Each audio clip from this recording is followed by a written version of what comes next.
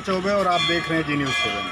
हम लोग इस समय गाज़ीपुर जनपद के करंडा ब्लॉक में चाणीपुर गाँव है, जहाँ पे हम इस समय आए हुए हैं।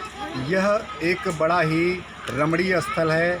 यहाँ पे माँ चंडिका का एक दिव्य मंदिर है। अगर हम बात करें चंडिका की, माता की तो जब शंकर भगवान के मना करने के बाद भी अपने पिता घर जाती हैं और अब अपने पति के अपमान के कारण जो है, यज्ञ कुंड में अपने शरीर की आहुति एक प्रकार से कहें कि अपनी दिव्य शक्ति से जो अग्नि प्रज्वलित कर उन्होंने आत्मदाह किया, उसके परिणाम स्वरूप शंकर भगवान कुपित हुए और उनके शरीर को लेके जो है, धरती पर विचरण करने लगे और उनके शरीर को विष्णु भगवान ने शंकर भगवान के सानिध्य से दूर करने के लिए जब अपना सुदर्शन चक्र चलाया तो वह बावन खंड में जो है विभाजित हुआ और वह खंड धरती के भिन्न भिन्न जगहों पे उनके शरीर का टुकड़ा गिरा और वो बावन शक्ति पीठों के नाम से जाना जाता है।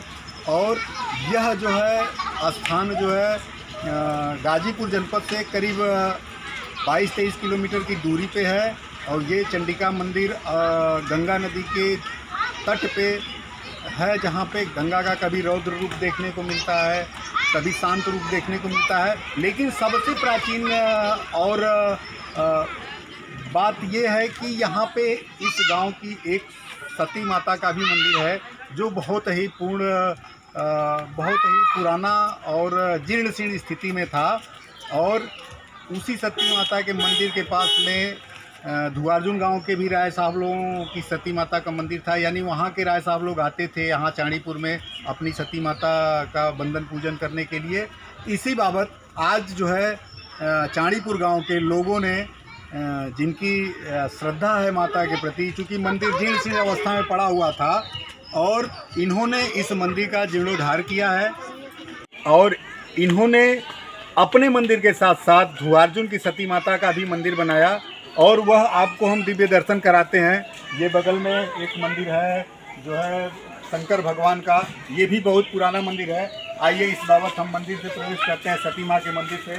और जानने का प्रयास करते हैं कि ये मंदिर कितना पुराना है। और जिन लोगों ने इस मंदिर को बनाया बनाया है, और पहले उनके पूर्वजों ने बनवाया, अब इस समय ये नए रूप में इन लोगों ने बनवाया है तो इनकी मानसिकता क्या रही? और इनसे चूँकि पूजनीय है वंदनीय है और ये लोग बाहर रहते हैं तो अचानक इनके दिमाग में ये बात आई होगी कुछ मनोकामनाएँ पूर्ण हुई होगी।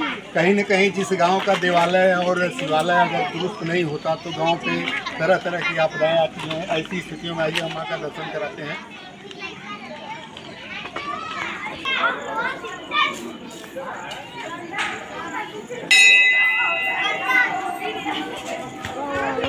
अ, सामूहिक जो है दोनों सती माता का जो है सामूहिक कुंड बना है।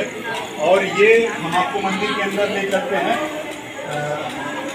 ये है सती माता जो अ, की हैं। और इनके ठीक बगल में ये इस गाँव की यानी चालीपुर गाँव की सती माता है। इधर से दिखाई ये चालीपुर गाँव की और आप देख सकते हैं कि किस प्रकार से यहाँ के लोगों की श्रद्धा है, दोनों माताओं के प्रति, कि इन्होंने अपनी माँ का जो है जीर्णोद्धार कराया, साथ में दुर्गातुन वाली सती माता का भी इन्होंने जीर्णोद्धार कराया। आइए, इस बाबत उन्होंने जानकारी लेते हैं। इनके विषय में जानते हैं कि कब का ये मंदिर है, और आप के मन में ऐसी क्या बातें हैं जिसकी वजह से आप जो है इस तो इस बाबत हम यहाँ जो मंदिर का निर्माण करवाए हैं ये क्योंकि मंदिर जिन सी स्थिति में था तो इस बाबत हम बात करते हैं। राकेश भाई राय। भैया अपना परिचय देते हुए बताएँ ये मंदिर कितना पुराना है? ये दो मंदिर यहाँ पे हैं उनके विषय में भी जानकारी प्रदान करें। और ये आपकी मतलब जैसे कुल देवी होती है ऐसे आप लोग इसको पूछते हैं क्या क्या स्थितियाँ रही?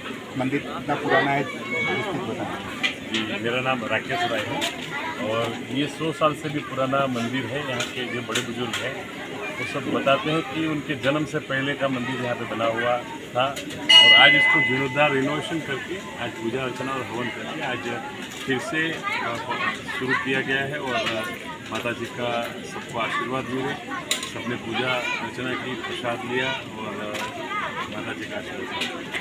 मंदिर के जीर्णोद्धार में जो आ, पैसा खर्च हुआ है ये सामूहिक खर्च हुआ है या फिर व्यक्तिगत आपने खर्च किया? देखिए ये पूरे चाणीपुर गाँव के लोगों का आशीर्वाद है और यहाँ यहाँ के लोगों की मेहनत का परिणाम है कि ये मंदिर का रिनोवेशन जीर्णोद्धार हुआ है।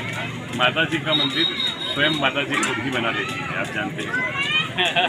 तो ये ये जो मंदिर है ये आप लोगों के आ, से पहले का है या संज्ञान में आया मामला ये ये पूर्वजों पूर्वजों के अनुसार ये बहुत पुराना सौ साल से भी पुराना मंदिर है और इसका बहुत सत भी है।